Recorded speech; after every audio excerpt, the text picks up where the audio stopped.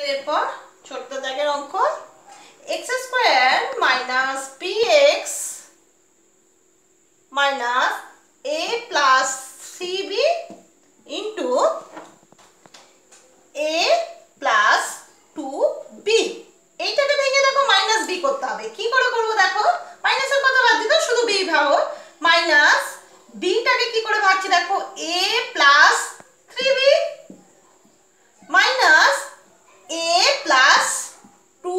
B into X দেখো এখানে A plus A minus A কেটে যাবে three A three B minus two B শুধু বি পড়ে থাকবে হয়ে গেল?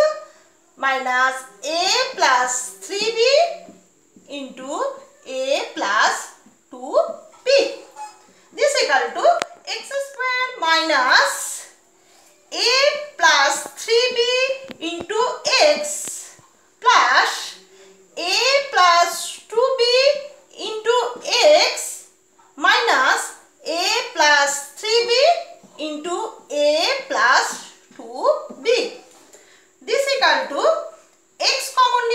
এখান থেকে x minus a plus 3b আর এখান থেকে a plus two B common নিলাম। এখান থেকে নেব A plus two B common এখান থেকে A plus two B common নিলে কি পড়ে থাকল? X minus A plus three B this equal to X minus A plus three B এটা একটা, আর একটা হয়ে গেল X plus A plus two B এবার ফার্স্ট ব্র্যাকেটগুলো উঠিয়ে দেবো। ফার্স্ট ব্র্যাকেট উঠিয়ে দিলে কি পড়ে থাকছে? This equal to X minus A minus three B into X plus A plus two B হয়ে গেল এবার দেখো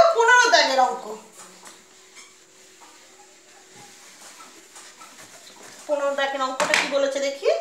X V a plus b তার whole square minus five A minus five B plus six this equal to A plus B তার whole square minus five common নিলে আবার A plus B চলে আসছে plus six A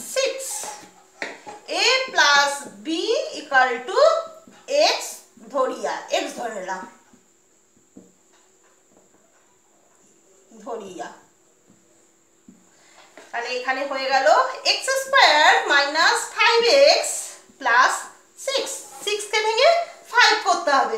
সমান হচ্ছে X square minus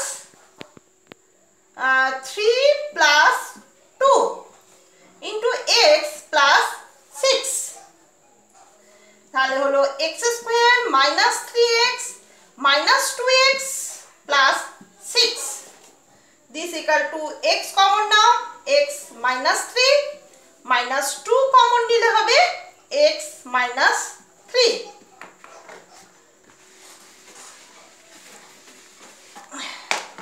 এখানে হয়ে গেল সমান X minus three into X minus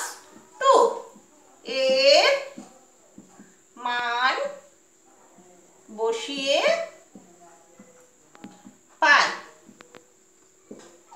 তাহলে হবে A plus B minus three আর একটা হবে A plus B minus two